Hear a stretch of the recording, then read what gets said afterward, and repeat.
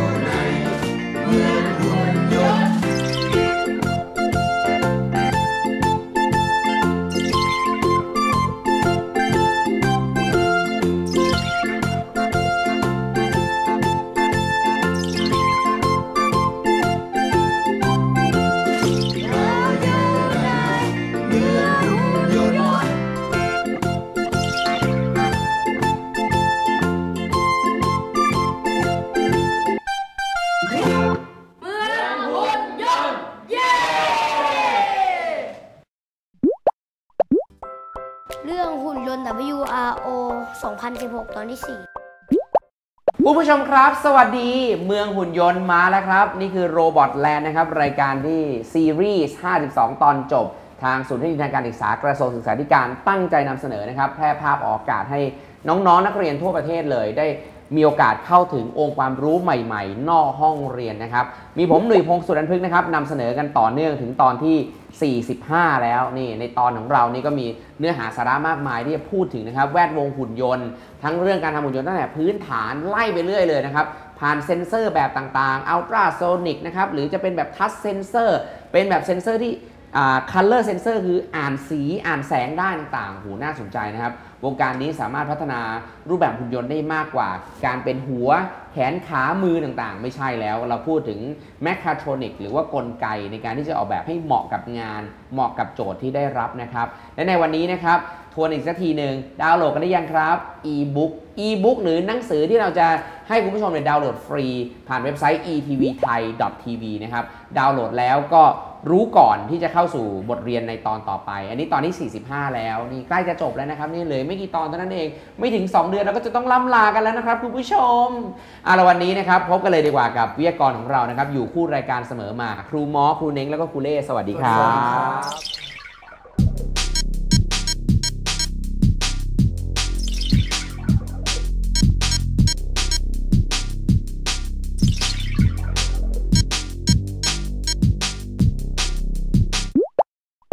ยังไม่จบใช่ไหมฮะ เรื่องยัง WRO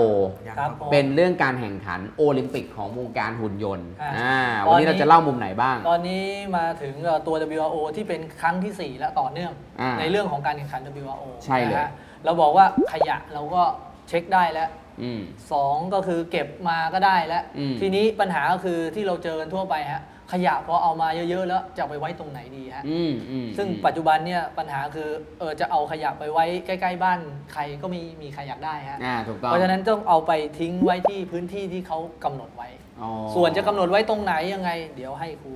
เน้งครูเล่อธิบายครับอ่าโอเคในส่วนของภารกิจเรานะครับเขาก็ได้มีการกำหนดพื้นที่ที่ไว้สำหรับในการทิ้งขยะนั่นเองอืมภารกิจของหุ่นยนต์ก็คือ หลังจากที่ทำการตรวจสอบและทำการเก็บ และวางถังเปล่าเรียบร้อยแล้วนั้น ครับ ให้นำขยะที่เราเก็บไว้ในตัวรถเนี่ยไปทิ้งไว้ในพื้นที่ที่เขากำหนด อืมในที่นี้เขาก็ได้กำหนดออกมาเป็นพื้นที่ในโซนสีเหลืองเอางั้นอาจจะนะฮะจำลองเป็นการอ่าเป็นจุดรีไซเคิลอืมอะไรประมาณนี้ นี่อ่าแล้วมีอะไรอีกที่น่าสนใจฮะ อย่างที่ครูเน้งเขาบอกว่าโซนสีเหลืองเป็นการรีไซเคิลใช่ไหมครับ อย่างนี้หุ่นเราก็ต้องคิดแหละว่าอืมการวิ่งไปจะทำยังไงให้ไปอืม โดน ไปไปที่พื้นที่สีเหลืองเพื่อจะนำขยะนั้นไปรีไซเคิลอืมอ่าอืมอันนี้เราต้องเด็กก็เด็กก็ต้องคิดอืมเกิดการคิดของเด็กขึ้นมาแล้วอืมนี่แหละฝึกวิธีคิดแล้วก็ช่วงเวลานี้ถือเป็นการติวเข้มเลยสำหรับใช่น้องๆน่าจะมีเรือนหมื่นคนนะที่ตอนนี้กำลังเรียนรู้เรื่องหุ่นยนต์กันอยู่ทั่วประเทศนะครับ จะมีงาน WRO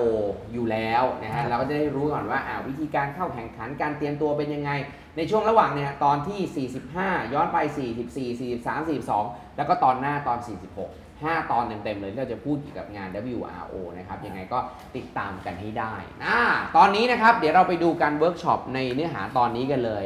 ยังพูดถึงงาน WRO อยู่เพราะวันนั้นช่วงท้ายครูเบนกับน้องยูเขารออยู่เพื่อที่จะนำเสนอทริคแอนทิปของวงการหุ่นยนต์ เราไปชมพร้อมกันเลยนะครับประกอบหุ่นยนต์เขียนโปรแกรม ประกอบหุ่นยนต์เขียนโปรแกรม ครับสำหรับวันนี้นะครับ พบกับผมคุณเองครับ น้องน้องเทครับ น้องน้องปานครับอ่าวันนี้พบกับพวกเรา 3 คนนะครับ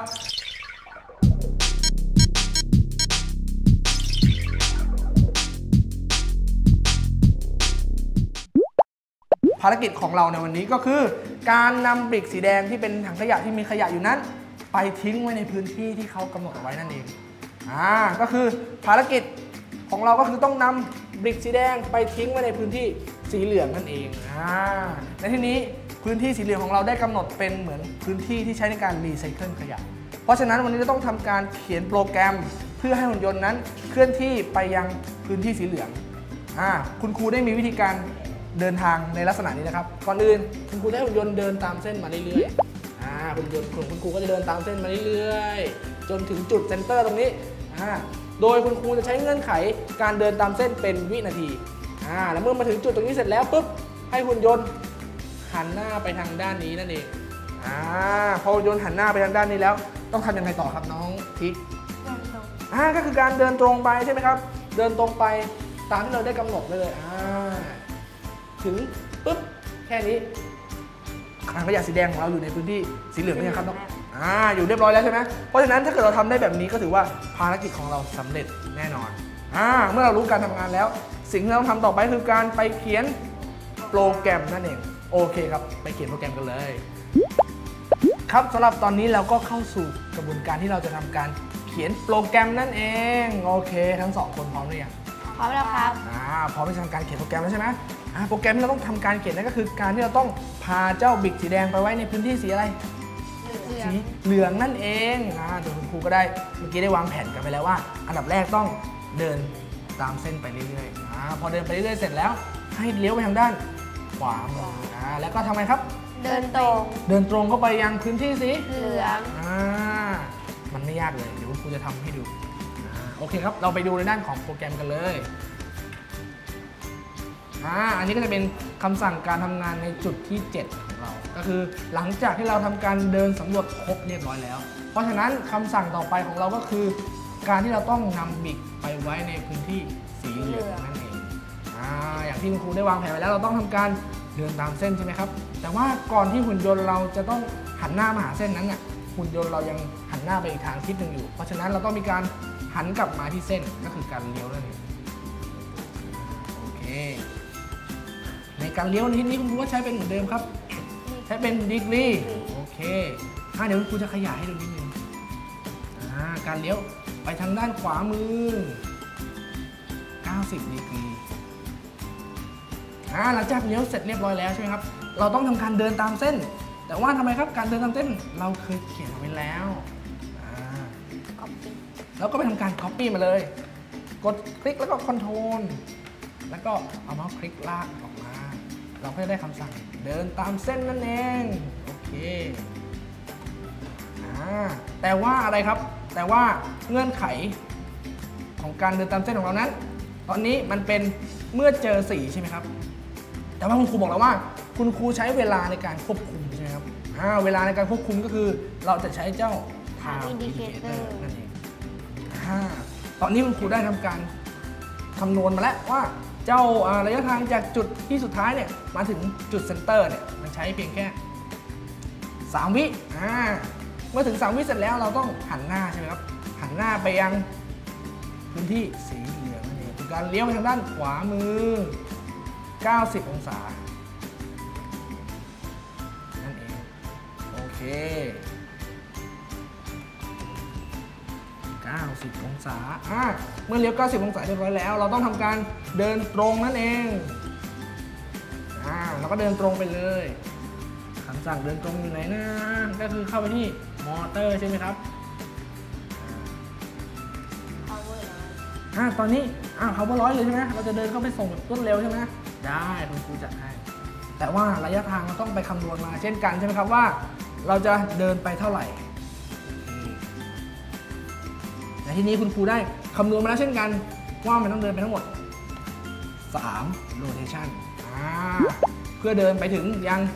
จุดสีเหลืองนั่นเองโอเค เท่านี้เราก็ได้ทำไมครับคำสั่งที่เราจะนำบิ๊กสีแดงไปเก็บในพื้นที่สีเหลืองเรียบร้อยแล้วอ่า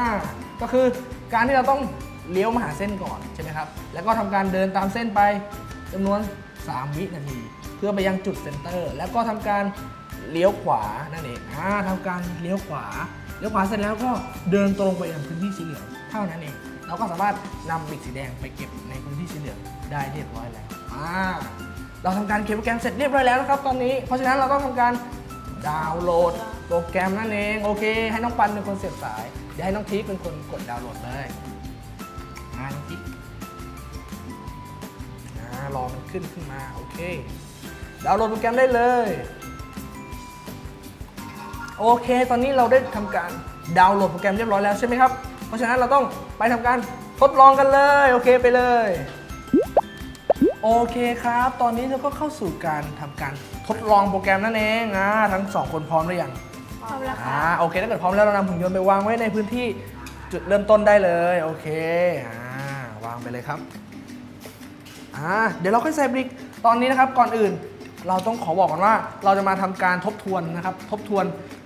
ภารกิจในครั้งแรกก็คือ การเดินมายังจุดที่หนึ่งนั่นเอง แล้วเจอสีแดงหรือสีน้ำเงิน ให้หยุดอยู่เฉยนะอ่ามาดูสิครับว่าหุ่นยนต์เรานั้นจะสามารถทำได้หรือไม่ แต่ก่อนอื่นคุณต้องขอเลือกคำสั่งก่อนว่า เราใช้คำสั่งที่หนึ่งเราก็ต้องไปที่คำสั่งที่หนึ่งโอเค ตอนนี้มาถึงละคุณครูก็จะวางไว้ที่เดิมให้น้องปันเป็นคนจัดกลุ่มหน่อยครับอ่าจัดหุ่นแล้วก็วางให้ตรงนะ แล้วก็ทำการกดรันโปรแกรมได้เลย โอเค อ่าอันนี้จะเป็นการทำงานของเจ้าหุ่นยนต์ในวันแรกของเราใช่ไหมครับก็คือจะเดินไปเรื่อยๆ ไปยังจุดที่หนึ่งนั่นเองอ่าแล้วถ้าเกิดเจอสีแดงหรือสีน้ำเงินให้ทำการหยุดนั่นเองอ่าไม่ว่าจะเป็นสื่ออะไรตอนนี้เราให้เขาหยุดก่อน เพราะฉะนั้นเราจะมาดูการทำงานในวันที่ 2 ก็คือ การที่เจอสีแดงหุ่นยนต์ต้องทำการเก็บ แต่ถ้าเกิดเป็นสีน้ำเงินให้ทำการเดินผ่านไปนั่นเองโอเคครับ เราจะมาดูการทำงานใน วันที่2ของเราก็คือให้น้องทิกเป็นคนรันโปรแกรม เช่นเคยก่อนอื่น คุณครูต้องเช็คคำสั่งก่อนว่า เราจะรันในวันที่ 2 ใช่ไหมครับ เราก็ต้องเลือกไปที่คำสั่งที่2นั่นเองโอเคอ่าโอเคอ่ายังไม่ต้องใส่เพราะว่าอะไรครับ วันที่ 2 เราแค่ทำการเก็บบิ๊กสีแดงเท่านั้น เรายังไม่ได้ทำการปล่อยอ่าโอเค เราจะมาเทสคำสั่งที่ 2 กันน้องทีพร้อมยังพร้อมแล้วอะโอเค ถ้าเกิดพร้อมแล้วกดได้เลยครับผม อ่าเห็นไหมครับว่าเจอสีแดงเขาก็ทำการเก็บแต่ว่ายังไม่ปล่อย เพราะว่าวันที่ 2 นั้น เรายังไม่ได้ทำการเขียนคำสั่งปล่อยลงไปนั่นเองอ่าเช่นเคยครับเจอสีแดงเก็บ เจอสีน้ำเงินก็อยู่ที่เดิมไม่ได้ทำอะไรกับเขาเลยอ่าเห็นไหมครับว่าในคำสั่งที่ 2 นั้นก็ยังใช้งานได้ตามปกติ คือเจอสีแดงแล้วทำการเก็บไปทั้ง 2 จุด และสีน้ำเงินก็เดินผ่านไป โอเคครับ เราจะย้อนกลับมาอีกนิดนึง เพื่อที่จะทำการปล่อยด้วยแหละครับทีนี้อ่าคราวนี้เราจะมาดูภารกิจในวันที่สามของเราก็คือ การเก็บและก็ต้องปล่อยนั่นเองโอเค ในการปล่อยเราคือการปล่อยเจ้าบิ๊กสีอะไรนะสีฟ้าสีฟ้าหรือสีน้ำเงินลงมาแทนที่นั่นเองโอเคครับ ในการที่จะสามารถปล่อยบิ๊กได้เราก็ต้องบรรจุบิ๊กลงไปก่อนโอเค ใส่ลงไปเลย ใส่ลงไปตรงๆนะอ่าตรวจสอบด้วยว่ามันตรงหรือยังโอเค เราก็ต้องมาเช็คความแน่น และเราจะรันคำสั่งในวันที่ 3 ใช่ไหมครับ เราก็เลือกคำสั่งที่ 3 ของเรานั่นเองโอเคคำสั่งที่3อยู่ไหนนะอ่าคราวนี้สลับกันนะให้น้องปันเป็นคนกดรันโปรแกรมให้อ่าก่อนกดรันเราต้องบอกก่อนว่าภารกิจคือต้องมีการเก็บแล้วก็ต้องปล่อยปล่อยด้วยนั่นเองโอเคครับทำการกดรันได้เลยอ่าดูสิครับว่าจะเก็บแล้วปล่อยจริงหรือไม่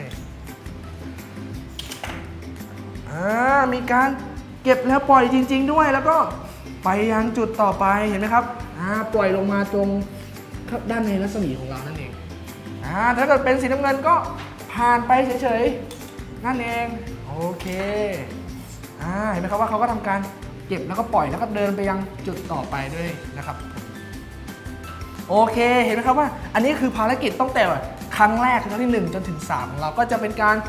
เก็บและปล่อยจนครบทุกจุดนั่นเองอ่าในจุดที่เหลือนี้ก็คือการใช้คำสั่งเหมือนเดิมอย่างที่คุณครูได้เคยบอกเอาไว้ เพราะฉะนั้นน้องๆก็สามารถนำไปทำต่อได้ให้มันเสร็จนั่นเองอ่าวันนี้คุณครูจะมาถึงขั้นตอนเมื่อเราทำการทำไมครับ เก็บและปล่อยมีครบทั้งหมด 7 จุดนั่นเองอ่าเมื่อเก็บและปล่อยทั้งหมด 7 จุดเรียบร้อยแล้ว เราต้องทำการนำไปไว้ในพื้นที่สีเหลืองอ่าวิธีการของเราคืออะไรนะ มันต้องทำการทำไมก่อน ก่อนอันดับแรกมันอยู่ตรงนี้ใช่ไหมมันก็ต้องมาทางนี้ปุ๊บแล้วก็ทำการเดินตามเส้นเดินตามเส้นมาเรื่อยๆ มาจนถึงจุดตรงจุเซ็ดนตรเตองกลาร์งแล้วก็ทำไมครับ ถึงนี่แล้วก็ขวาหันขวาแล้วก็ทำไมต่อ เดินเดินตรงไปยังเขียนสีเหลืองสีเหลืองนั่นเองโอเค ถ้าเกิดทำได้ตามนี้ก็แสดงว่าวันนี้ภารกิจของเราได้สำเร็จโอเค พร้อมหรือยังพร้อมแล้วอ่าถ้าเกิดพร้อมแล้วเรามาดูกันเลยโอเค อ่าในการทำงานในครั้งนี้ก็เป็นครั้งที่4อ่าครูก็จะเลือกคำสั่งที่สี่อ่าให้เรานำบิกสีแดงเนี่ยไปวางไว้ในช่องที่เก็บบิกเลยโอเคอ่าโอเคบรรจุบิกสีแดงของเราลงไปเลยอ่าตอนนี้หุ่นยนต์เราก็ทำไมครับ พร้อมที่จะนำไปเก็บยังพื้นที่สีเหลืองเรียบร้อยแล้ว ใครจะเป็นตัวแทนไปกดให้ครูดี อ่าน้องทีก็ได้ไม่เป็นไรน้องทีแขนยาวกว่าอ่าพร้อมหรือยังรอสัญญาณจากคุณครูก่อนคุณครูจะนับ1นถึงสนะ ครับ และให้น้องทีเป็นคนกดรันแกมดูสิครับว่าภารกิจของเราในวันนี้จะสำเร็จหรือไม่ คือการเดินไปยังพื้นที่สีเหลืองอ่าโอเคครับน้องทีกดได้เลย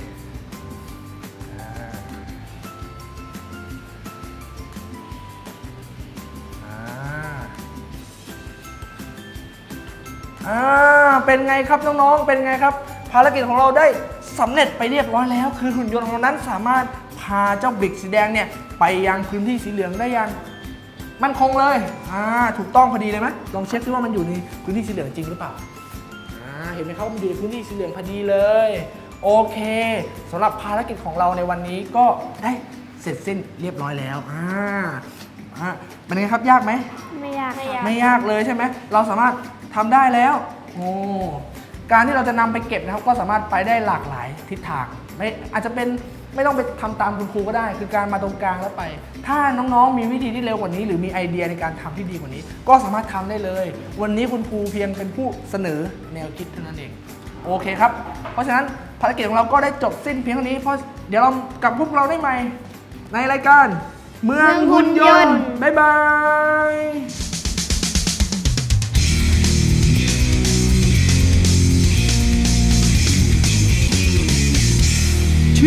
and Tips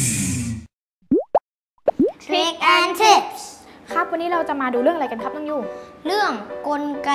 การทำงานแบบนาฬิกาลูกตุ้มตอนที่สองครับตอนที่ 2 แล้วใช่ไหมครับใช่ครับอ่า ตอนที่ 2 อันนี้เราก็จะใช้เป็นตัวอะไรเอ่ยเอ็นเป็นมอเตอร์ตัว M มอเตอร์เหมือนเดิมใช่ไหมใช่ครับอ่า ลักษณะนาฬิกาลูกตุ้มเป็นแบบไหนนะมันไม่มีนาฬิกาแล้วครับ ตอนนี้เรามันเดี๋ยวเดี๋ยวเติมครับลักษณะการ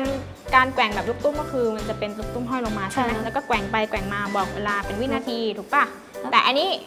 เราต้องมาทำตัวลูกตุ้มเพิ่มเติมก่อนใช่ไหมคะใช่ครับอ่เรามีให้เวลานั่งยูในสี่การอุปติดกรณ์นะครับอุปกรณ์เข้าไปเพิ่มก่อนปึ๊บติดเข้าไป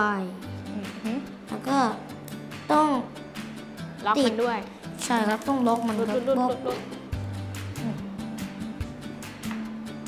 แบบนี้ครับแล้วก็ต้องใส่ อีกอันนึงโอเคพอแล้วได้แล้ว โอเค เรียบร้อยแล้วใช่ไหมครับเสร็จแล้ว ก็เอามาติดกับกันาบฬิตัวกานาฬิกาของเรา มันจะเวลา มันจะอัตโนมัตินะครับ สังเกตการแกว่งนะคะ แกว่งซ้ายขวาซ้ายขวาเนาะก็คือตั้ง power ไว้เพิ่ม 10 ลด 10อ่าแล้วก็ทิศเสียทางงก็จะด้วยครับแกว่งไปมา การทำงานของมันก็เหมือนเดิมเหมือนกับคราวที่เราที่เราทำมาก็คือ M motor เชื่อมต่อกับมีตัวตัวเพานะคะเชื่อมต่อกับตัวแกนล้อแล้วก็มีตัวยางด้วย หมุนไปหมุนไป แล้วก็ตัวเพาตัวนี้ก็จะไปหมุนกับตัวข้างหน้าตัวนี้ ให้มันดีดให้มันแกว่งไปสองข้างปึ๊บปึ๊บซ้ายขวาซ้ายขวาอ่า อันนี้ก็จะเป็นอีกรูปแบบหนึ่งเนาะที่แต่ละคนสามารถนำไป ดัดแปลงหรือประกอบเข้ากับหุ่นได้ตามที่แต่ละคนต้องการเลยตามแบบของหุ่นแต่ละตัวด้วยสำหรับใช่วันนี้เราลากันไปก่อนเจอกันครั้งหน้านะครับ บ๊ายบาบายยนี่เป็นยังไงล่ะ เป็นยังไงล่ะ ใช่เล่นที่ไหนหุ่นยนต์นี่ เอาขยะเก็บแล้วเอาไปทิ้งด้วย ถูกที่ด้วยนะครับนี่นะครับ การคิดก็ต้องคิดให้ครบลูปจริง ๆ เพราะว่าถ้าไม่ครบเนี่ยผมคิดว่าทำหุ่นยนต์ไปก็อาจจะมาตอบสนอง ชีวิตมนุษย์ในชีวิตประจำวันไม่ได้ใช่ไหมคือเรื่องเนี้ยมองเป็นเรื่องเล่นเล่นเล่นแน่นอน แต่เป็น learning by doing คือเล่นไปทำไปเกิดการทำก็เกิดการเรียนรู้ว่ายง่ายๆนะครับ แต่ถ้าเกิดว่าจะเอาให้เกิดประโยชน์กับสังคมจริง เด็ก ๆ ต้องคิดให้ครบลูปเลยว่าจะจัดการมันยังไงครับอ่าอย่างหุ่นเนี่ยฮะที่ที่เราได้มีน้องๆเนี่ยหรือว่าที่ตอนที่ผ่านมาเนี่ยเราได้กติกามาแล้วมีการทดสอบนะฮะในแต่ละครั้งแต่ละครั้งเนี่ย ทดสอบไปแล้วเราก็ต้องมาแก้ไขปรับปรุงไปเรื่อยครับๆในโซนนี้ทำไปได้ระยะเวลาเท่านี้หุ่นแล้วยังเก็บได้ไม่สมบูรณ์อะไรเงี้ยอืมมีการปรับแต่งแก้ไขกันโดยตลอดเพราะฉะนั้นอืมกระบวนการคิดก็จะวนไปอย่างนี้ยฮะอ่าคือประดิษฐ์โปรแกรมทดสอบทดสอบไม่ได้แล้วกลับมาแก้ไข อ่าอ่าก็ด้วยเป็นกระบวนการครับลูปแบบเนี้ยในการคิดคำนวณหรือว่าอืมแก้ไขปัญหาต่างอืมนะครับ ปกติเวลาเด็กมาฝึกกับครูเนี่ยแล้วทำไม่ได้เนี่ยคุณครูมีวิธีการเสริมกำลังใจทำให้ทำได้ยังไงฮะ คือตีขาเลยไหมฮะ เราอาจจะไม่ได้โหดร้ายขนาดนั้นฮะคือเด็กส่วนใหญ่บางทีในเรื่องของการต่อเนี่ยก็จะมีการท้อเกิดขึ้น อ่าแต่คุณครูก็จะพยายามให้เขามองเห็นภาพของความสำเร็จว่า นี่เมื่อมันสำเร็จแล้วเนี่ยมันมีความสนุกหรือมีประโยชน์อย่างไร นี่ เด็กเขาพอเห็นถึงส่วนนั้นเขาก็จะมีแรงว่าเฮ้ยอยากรู้ว่ามันเป็นอย่างที่คุณครูพูดจริงหรือเปล่า อ่าต้องเสริมกำลังทำให้ใจเสร็จแบบนี้ใช่ครับครูเล่นี่เวลาเด็กท้อนี่ส่งยาหม่องให้เลยใช่ไหมครับ ตาลิงถือลูกท้อ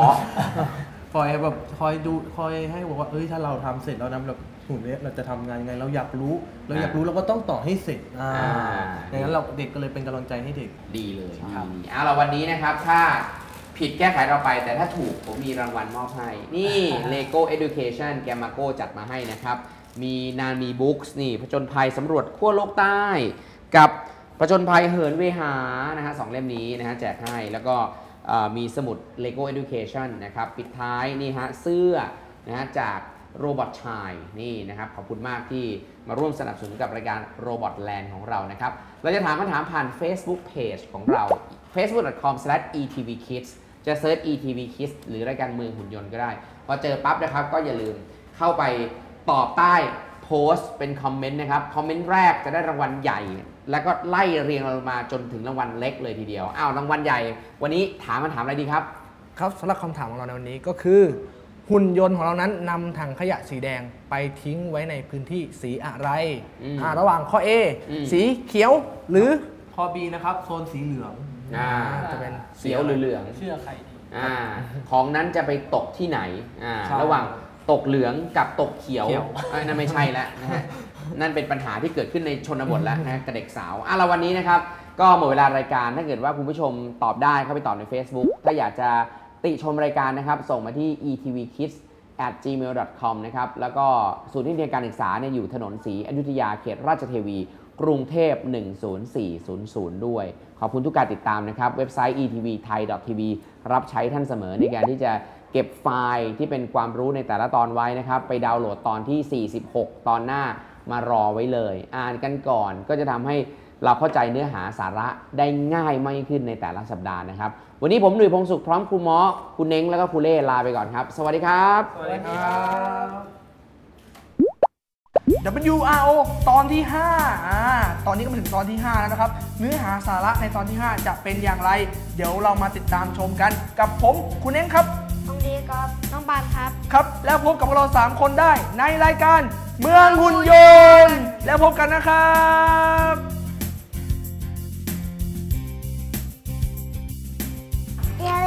ตามชมนะคะ บ๊ายบาย